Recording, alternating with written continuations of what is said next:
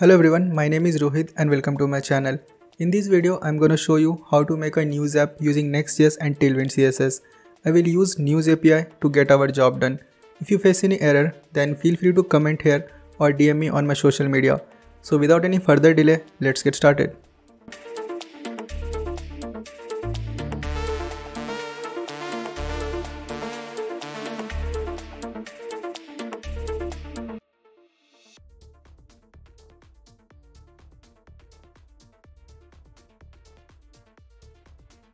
First initialize a Next.js application and name the application. These are my default settings for this Next.js app.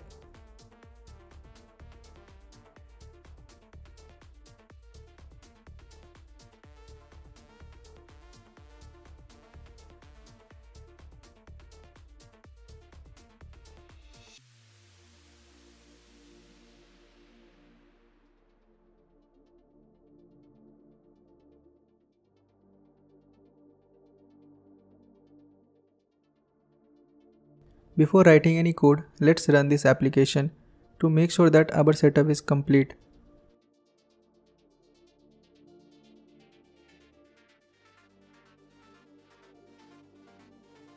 Okay, this is the default rendering of the Next.js app. If you go to the page.js file which is inside the app directory, then you will see the default code. We will write the code of the news app here.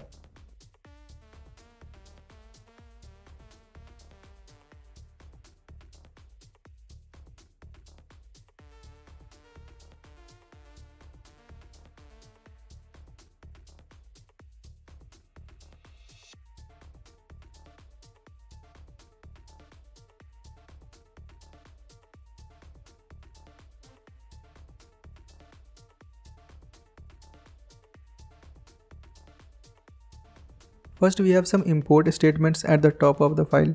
These are for importing the modules and components that we need for our app. We import React which is the library for creating user interfaces. We also import useState and useEffect which are hooks for managing state and side effects in functional component. We import head, image and link from Next.js which are components for adding metadata to the page, displaying images and creating links. We also use the use client directive which tells Next.js to only run this code on the client side.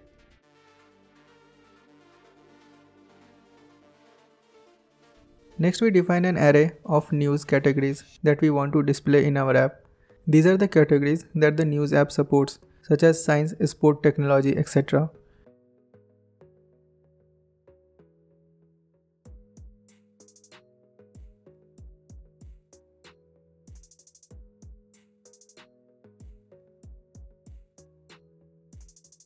We also define a constant for the news app URL, which is a template string that contains the base URL, the country parameter and the API key. We also use the URL to fetch the news data from the API.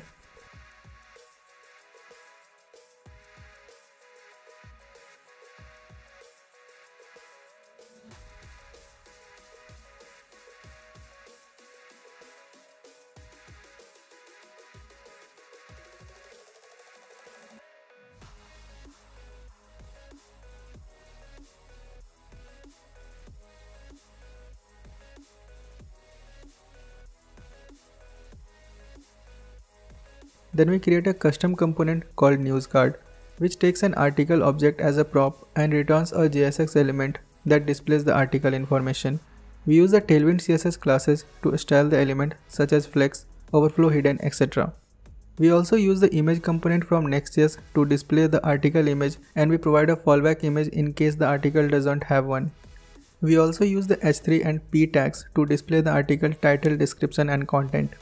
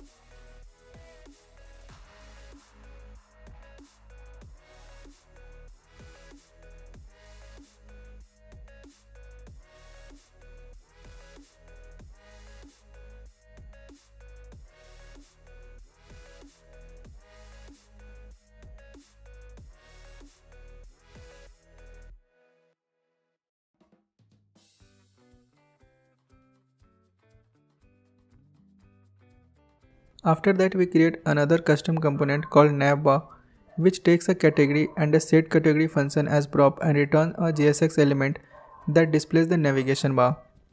We use the categories array that we defined earlier to map over each category and create a button for it.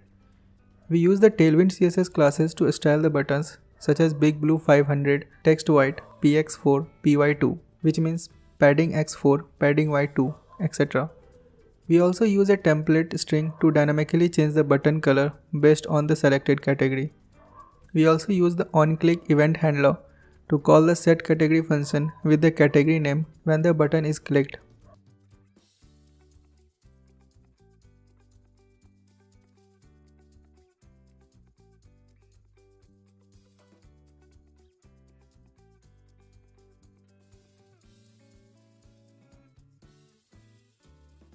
Next we create the main page component called page which doesn't take any props and returns a JSX element that displays the main page. We use the useState hook to create three state variables news, loading and category. The news state stores the news data that we fetch from the API. The loading state stores the loading status of the data and the category state stores the selected category. We initialize the news state to an empty array, the loading state to true and the category state to all.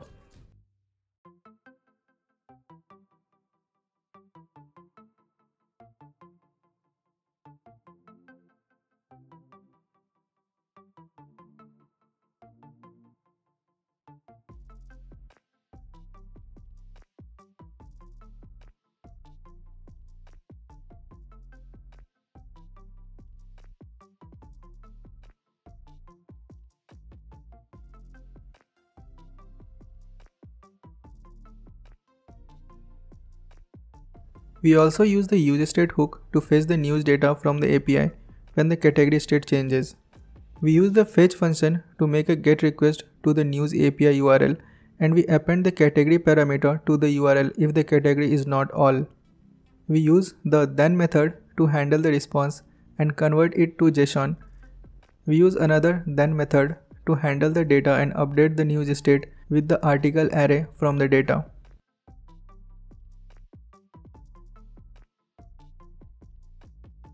We also set the loading state to false to indicate that the data is fetched.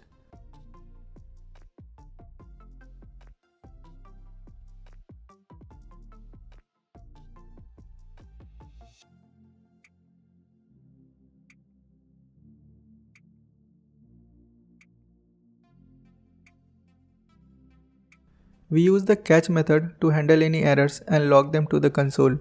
We also set the loading state to false to indicate that there was an error. We pass the category state as a dependency to the useEffect hook so that it runs only when the category changes. Then we return a JSX element that displays the main page. We use the div tag to create a container for the page. And we use the Tailwind CSS classes to style it. We also use the head component from Next.js to add some metadata to the page such as the title, description and the fav icon.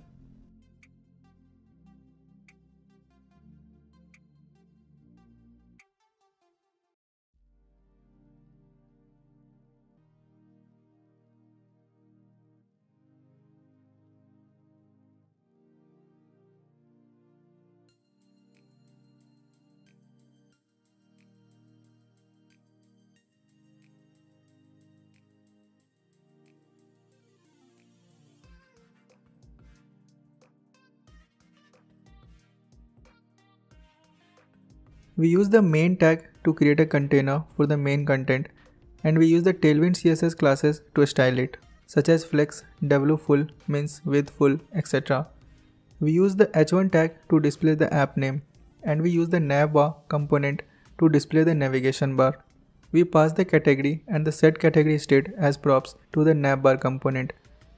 We use the div tag to create a container for the news card and we use the Tailwind CSS classes to style it such as grid, gap4, etc.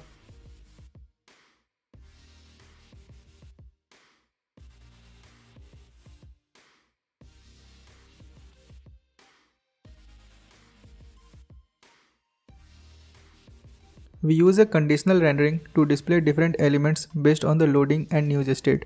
If the loading state is true, we display a paragraph that says loading. If the loading state is false and the news state is not empty, we map over the news state and display a news card component for each article. We pass the article object as a prop to the news card component. We also use the link component from Next.js to wrap the news card component and create a link to the article URL. We use the article URL as the key prop for the link component. If the loading state is false and the news state is empty, we display a paragraph that says no news available for the selected category.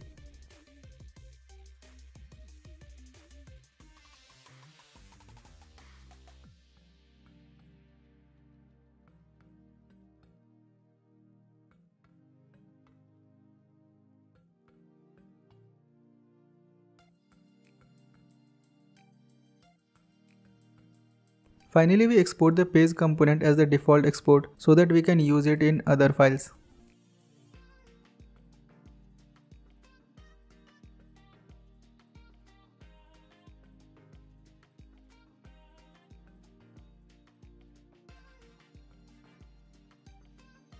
Here I used a fallback image. The path of the image should be in public directory.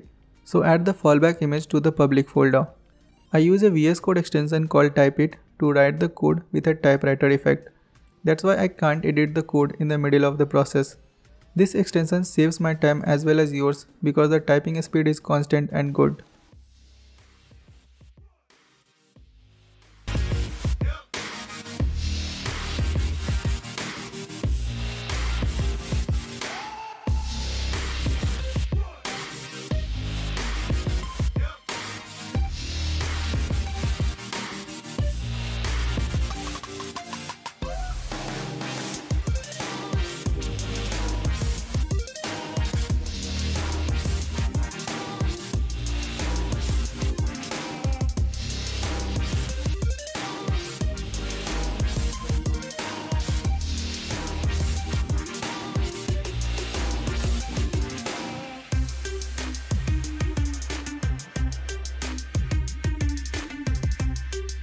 That's it for this video. I hope you learned something new today and enjoyed this video.